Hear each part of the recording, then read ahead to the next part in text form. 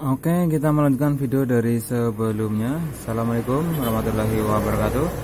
Ini adalah HP Samsung J500 dan di sini terkunci di akun FRP ya, FRP bypass atau akun Google dan passwordnya ya. Di sini tidak bisa melanjutkan dan harus mengisi emailnya. Oke, langkah pertama kita bisa mengaktifkan tombol tollbacknya. Kita pencet tombol home tiga kali secara cepat satu dua tiga. Di sini belum muncul kita ulangi kembali. Satu dua tiga. Wah di sini tailbacknya tidak bisa aktif ya. Berarti kita harus mematikan handphonenya dan kita menggunakan aplikasi tool FRP Hijacker by Hacker ya.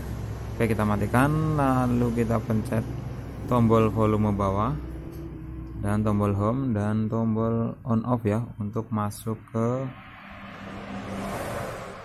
masuk ke download mode. Oke kita tancapkan.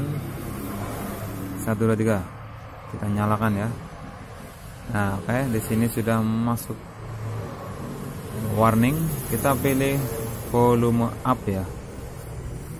Volume down untuk cancel dan volume up untuk continue. Kita lanjutkan ya volume up ya di sini volume up oke di sini sudah masuk download mode ya Oke, yang pertama kita ke komputer ya. Kita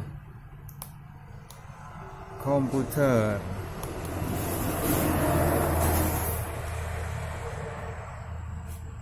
Kita buka jika belum menginstal aplikasi bisa install langsung untuk aplikasi FRP Hijacker di Hagat ya.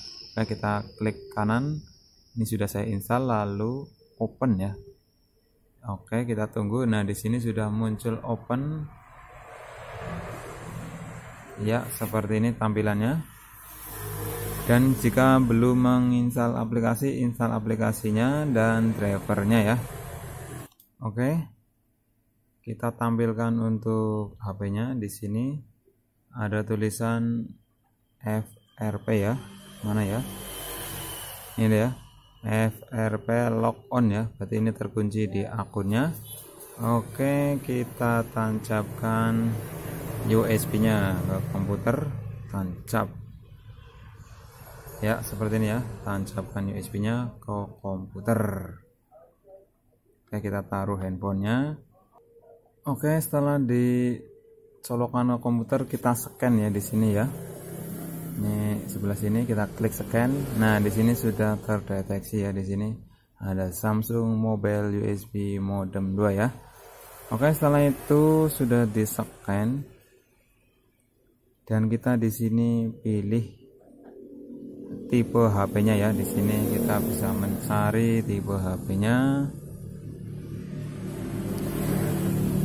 Samsung J5 nah di sini J5 G ya kita klik di sini C5G Oke ya di sini sudah pilih SMJ 500 untuk tipe HP-nya yang ada di kolom please select your device. Kita samakan dengan yang ada di HP ya di sini di HP-nya paling atas ya nomor 2 J500G ya.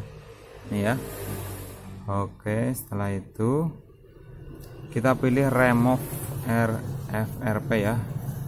Ini di sini ya. Yang belum ada centang, kita centang hijau.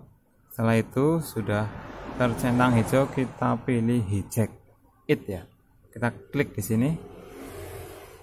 Oke, sedang connecting device COM 6 oke oke dan download mode removing FRP sedang berjalan ya ini prosesnya cepat banget. Nggak nyampe 5 menit.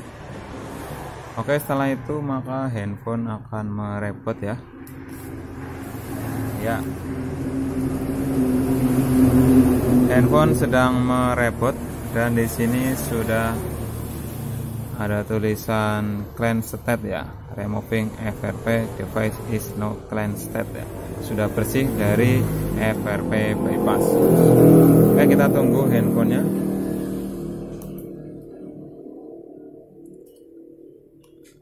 Sampai menyala dengan sendirinya.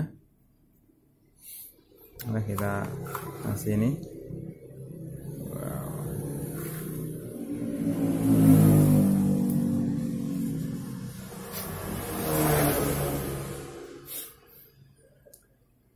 Oke kita tunggu sampai menyala ke menu.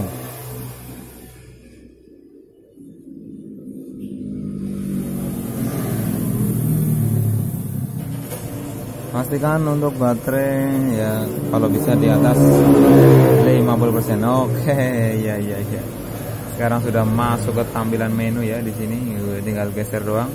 Sudah hilang untuk akun FRP nya ya di sini ya kita bisa cabut untuk kabel chargernya ya di sini. Oke kita cabut. Sudah bebas dari FRP bypass Samsung. C500 2015 ya. Oke mantap jiwa ya. Ini sudah hilang untuk akun FRP nya ya dan sudah aman ya kita kunci kita buka aman. Oke terima kasih sudah menonton. Semoga video ini bermanfaat. Jangan lupa like, comment, share, and subscribe ya. Oke untuk alat program FRP hijacker ini ini bisa digunakan di banyak tipe ya. Nah kita klik di sini. Ini tipe-tipenya dari tipe SC 0506 SCH SCH M19 dan banyak banget untuk tipe-tipe lainnya nih.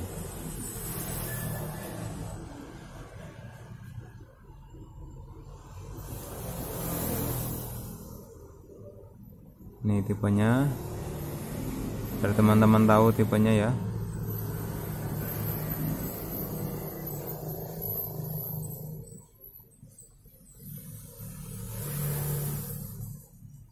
Oke dari SHV SHW SM G730 G750 G800 G900 terus J N750